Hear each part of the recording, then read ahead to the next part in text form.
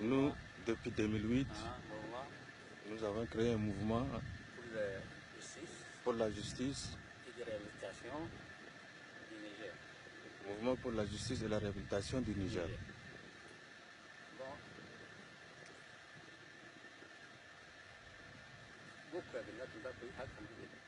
Depuis que nous sommes là, nous n'avons pas eu nos droits fondamentaux au Niger. Négation man kasar ki akhir dernier ma ba wasaqat. Tout est fermé, aucune porte nous est ouverte pour réclamer nos droits. Bon ni kunda جناح عسكري في جدا. Donc nous avons créé un mouvement armé. ضرورة الغوصة متر. Ici à Obli. بكرة الغوصة متر.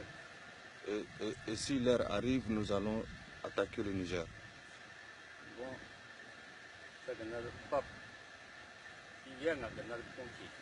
Tout cela parce que nous n'avons pas euh, eu aucune occasion de dialogue avec le gouvernement nigérien. Nous sommes au terrain, ici engagés pour réclamer nos droits au Niger. Je suis présent par intérim à Dumchike, Kodinga. Merci. Ici, le mouvement armé nigérien, ils réclament leurs droits au Niger parce qu'ils ont été marginalisés dans leur propre territoire. Le pétrole, l'uranium, ils n'ont aucun bénéfice envers, euh, euh, ils n'ont aucun, int- aucun droit dans ce pays. C'est pourquoi ces hommes armés se sont organisés pour réclamer leurs droits les plus fondamentaux, le fait de boire, de manger et de s'éduquer, de soigner. Pardon, deux points. Nous avons deux points.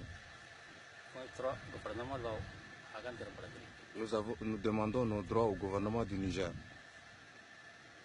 Point 3, société chinoise la droit terperanjat. Nous réclamons aussi nos droits de la, de la, euh, de la part de la société chinoise, la CNPC.